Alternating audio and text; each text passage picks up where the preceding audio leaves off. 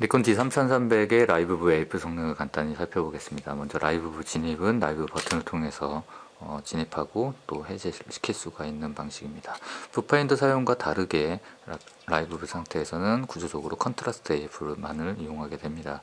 contrast AF를 사용하는 구조적 특징에 따라서 동일한 지점을 검출할 때에도 어, 매번 똑같은 반복한 검출 시간이 소요된다는 점이 아쉽고 또 약간의 wobbly 현상 때문에 약간의 화면의 울렁거림을 망원 쪽에서는 약간 느낄 수 있다라는 점이 아쉽긴 합니다.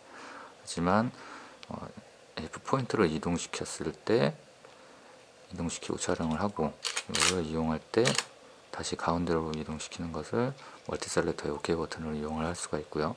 좌측의 확대 버튼을 이용해서 어, 피사체를 좀 더 당겨서 초점을 직관적으로 확인하면서 이용을 할 수도 있습니다. 또 추가적으로 I 버튼을 통해서 AF 초점 모드를 변경시킬 수가 있고 초점 영역 모드는 뷰파인더 사용하고 다르게 인물 우선 와이드 영역 표준 피사체 추적의 4개의 AF 영역을 이용할 수 있습니다. 뭐 피사체 추적에도 대응을 하고 인물을 우선적으로 이용을 할 수 있다는 점은 어, 편의사항으로서 인상적인 부분이 되겠습니다.